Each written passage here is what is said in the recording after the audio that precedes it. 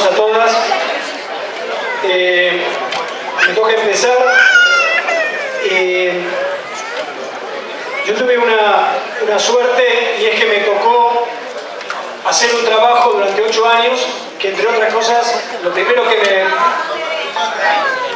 ¿Tengo que parar? Me tapan los fotógrafos. Eh, me tocó hacer un trabajo durante ocho años que entre las cosas que me permitió es que al tercer día que había asumido lo conocí a Rolando García. Y,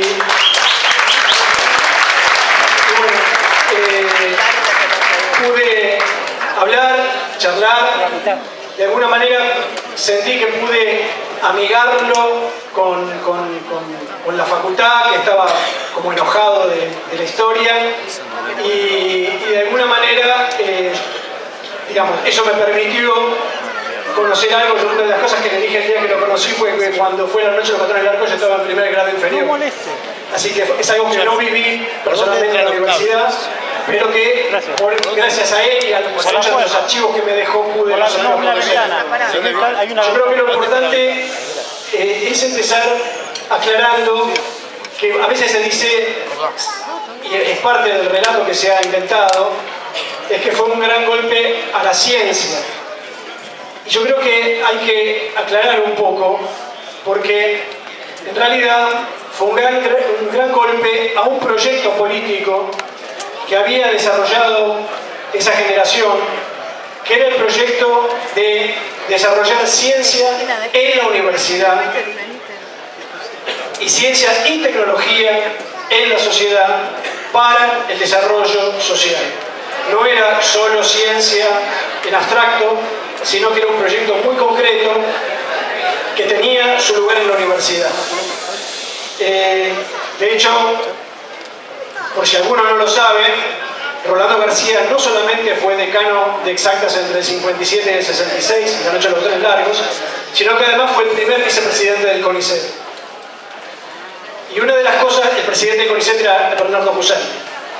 Y una de las cosas que le pregunté personalmente fue cómo veía él, cómo había sido él la relación que tenía que ver entre el CONICET y la universidad. Y él lo que me dijo en ese momento fue que él en ese momento había pensado y seguía pensando que la investigación se tenía que hacer en la universidad. Que la universidad era el lugar para hacer investigación. Y yo creo que en ese sentido es importante tener en claro quiénes eran los que de alguna manera conspiraban contra ese proyecto que llevaba adelante toda una generación, no solo Rolando García, en Exacta un montón de gente, pero también gente en otras facultades como Filosofía y Letras, Arquitectura. Eh, la gente que no quería ese proyecto era, por un lado, la gente más tradicional de la universidad, podríamos de alguna manera llamarlos profesionalistas, los que tenían una vida fuera de la universidad y que solo veían la universidad como un lugar para docencia. Eh, por otro lado, eh, también eh, estaban en contra de ese proyecto los sectores de la ciencia que querían la ciencia fuera de la universidad.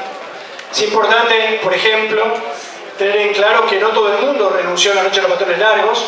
Por ejemplo, el presidente del CONICET siguió siendo presidente del CONICET, siguió siendo Bernardo Husay, y de hecho hizo una declaración diciendo que era una pena que hubiera habido golpes y demás, que repudiaba la represión, pero que era saludable que de alguna manera eh, la universidad estuviera manejando por la gente que realmente tenía antecedentes científicos y que la política no se metiera en la universidad. Y eso fue un contexto histórico. Y el tercer grupo que no quería ese proyecto la derecha civil que empujó el golpe de Estado. Ninguno de esos sectores querían este proyecto que impulsaba esta generación.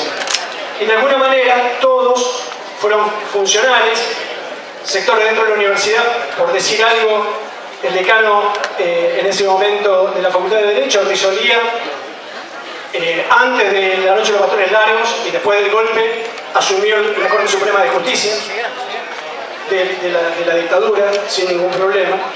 Eh, y bueno, digo, había sectores dentro de la universidad que justamente estaban de acuerdo en que se cortara este proceso.